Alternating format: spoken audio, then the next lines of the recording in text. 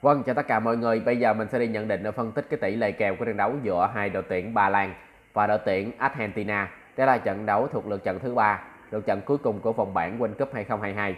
Và trận đấu này sẽ được diễn ra vào lúc 2 giờ rạng sáng ngày ờ, 1 tháng 12 theo giờ Việt Nam.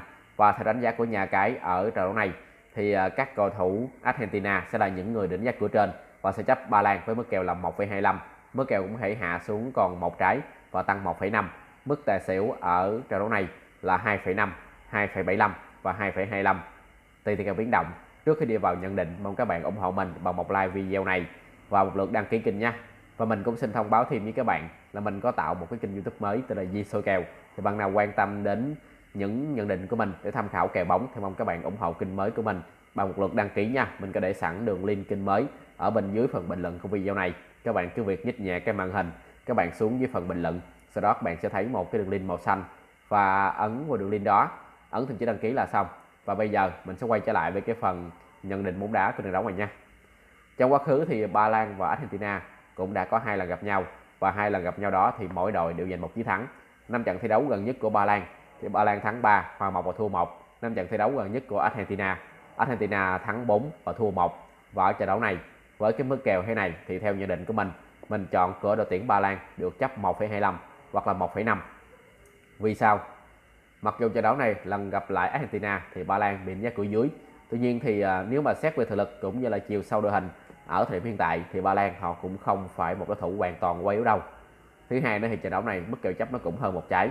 Nếu như mà kết thúc 9 phút hai đội à, có tỷ số hòa thậm chí là Ba Lan có thể thất bại trước Argentina với cách biệt là một bàn thì chúng ta chọn cửa Ba Lan. Chúng ta cũng vẫn từ quay kèo để thắng kèo mà thôi và thứ ba thì xét về phong độ cũng như thành tích đối đầu, thì Ba Lan họ cũng đang à, khá là ngang ngửa với Argentina ở những lượt trận gần nhất. Và hiện tại thì Ba Lan họ cũng đã có được 4 điểm sau hai lượt trận. Cái cơ hội đi tiếp của Ba Lan thì cũng đang rất là tràn trề. Cho nên mình nghĩ là trận đấu này ít nhất thì Ba Lan họ sẽ tử thủ trước Argentina để Hồng kiếm được một điểm và có vé vào vòng sau. Cho nên trận đấu này ban đầu tư tưởng mình ưu tiên đi cửa đội Ba Lan. Được chấp, nghĩ sẽ rất là sáng cho bạn trong bóng đá thì nó cũng chưa nói trước nhiều điều khi mà 90 phút chưa thúc không phải lúc nào cửa dưới thì phải nhận thất bại đâu. Phong độ của Ba Lan cũng vẫn tốt và biết đâu với sự khác biệt đến từ Lewandowski thì có thể là giúp cho Ba Lan đá bại được Argentina luôn thì sao?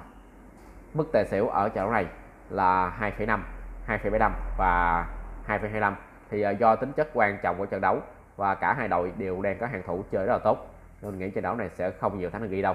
Dự đó kết thúc 9 phút hai đội hòa nhau một điều hoặc là Argentina thắng Ba Lan 1-0 là nhiều mà tin tưởng mình nữa ưu tiên đi cửa xỉu trận này. Còn nếu trận đấu này các bạn không tin tưởng vào Ba Lan thì ưu tiên đá cửa xỉu không được. Ở mức hiệp 1 thì mức kèo chấp là 0,5 và sẽ là một trái. Thì gì đó hiệp 1 hai đội cũng sẽ chưa dám tấn công ờ, sớm đâu.